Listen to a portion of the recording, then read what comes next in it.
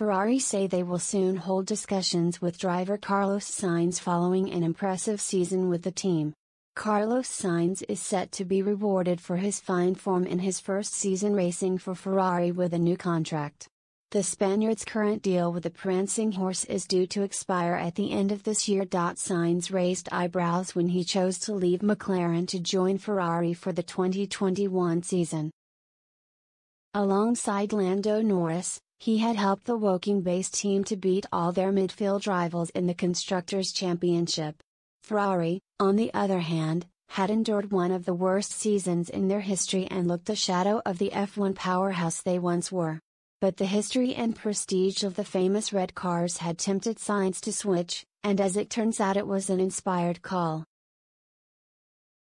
Despite McLaren again doing well in the first half of the season, Ferrari's performance upgrades after the summer break were too much for their rivals to handle. The Maranello team roared past and finished comfortably in third place, behind the runaway leaders Mercedes and Red Bull. Sainz was central to that, even outscoring teammate Charles Leclerc in the end to claim fifth in the drivers' standings, the best of the rest of all the drivers not in one of the fastest four cars.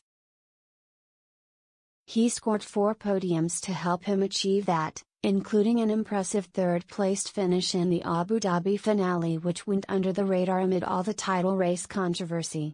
Sainz proved himself a more than capable replacement for outgoing four time world champion Sebastian Vettel, and now Ferrari bosses are keen to extend his stay with the team.